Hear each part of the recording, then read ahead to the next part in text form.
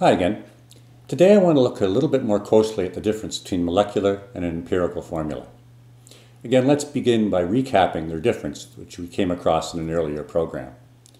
The empirical formula reflects the simplest ratio of atoms that are present, whereas the molecular formula reflects the actual number of atoms that are present. So again, let's look at a few examples. If I start with the molecule H2O, its chemical formula indicates two parts hydrogen, one part oxygen. If I reduce that to lowest terms, I actually end up with the same formula. So in this case, there is no difference. I'll try another example, hydrogen peroxide, H2O2. Each molecule of hydrogen peroxide has two oxygens and two hydrogens in it. Reducing that to lowest terms gives me the formula HO.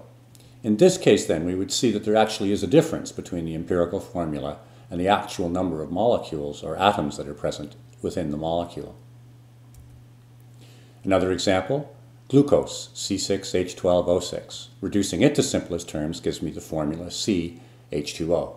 So again, there would be a difference between their empirical and molecular formulas.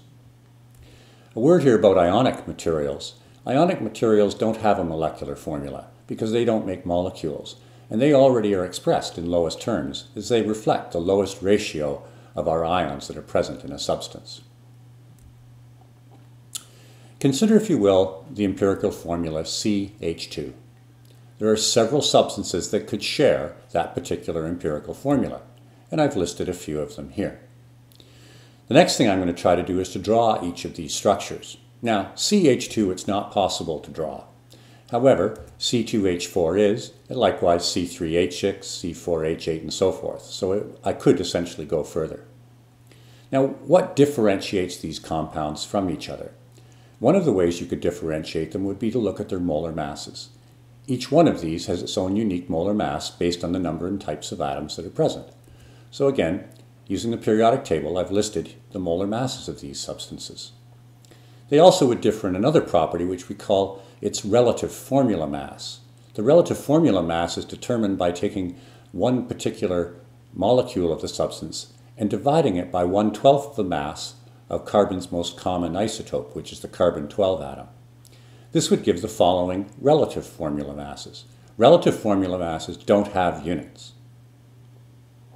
You will notice, however, that the magnitude of the relative formula mass is exactly the same magnitude as the molar mass.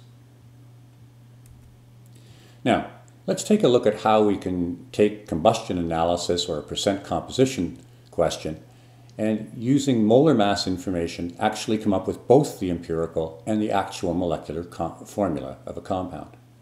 For in my example here, I'm going to burn 4.388 grams of a hydrocarbon, meaning it only contains two elements, hydrogen and carbon. It produced around 13 grams of carbon dioxide. I also have some information about the formula mass of my product. It's 42.08. Let's begin as we do with typically with most of these questions is setting up a T-chart looking at each of the individual elements. Now at this point, I don't have the mass of either of the elements. I only have the total mass, 4.388 grams. I need to know how much of that is carbon, how much of that is hydrogen. To do that, I'm going to turn to the carbon dioxide and realize that when you burn a fuel, in this case a hydrocarbon, the carbon part of the fuel ends up as carbon dioxide. So if I can determine the mass of carbon that's present in that 13.76 grams of carbon dioxide, that must be the mass of carbon that was originally present in my fuel.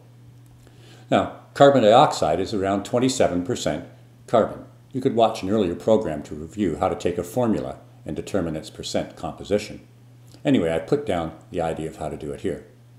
So what I'm going to do now is take 27.29% of the 13.76 and I arrive at 3.756 grams. That's the mass of carbon in my carbon dioxide. That must have began its journey as the carbon in the fuel. So I know the mass of carbon that was in my sample. Using the molar mass of carbon and converting the mass to moles, I arrive at 0.3127 moles of carbon. Now, the mass of hydrogen I can obtain by the difference between the mass of my fuel and the mass of carbon. I'm going to take that and likewise determine the number of moles of hydrogen. As we do in these questions, we take the lowest of these two answers and divide it into both. that then gives me the ratio that exists between the two, in this case, 1 to 2. Hence, my hydrocarbon's empirical formula is C2H2. Now, to determine the molecular formula, I now turn to the formula mass of my substance. I know that if I was to multiply the molar mass of C2H2 times some value n, it will arrive at 42. And n will be a whole number. It could be 1, 2, 3, 4, and so forth. So the molar mass of CH2 comes out to be 14. 14 times n must equal 42, n equals 3. So I know my resulting product must have three CH2 units in it, and thus its formula must be C3H6. So I hope you found that useful. Comments are always welcome, as well as questions. Thanks again.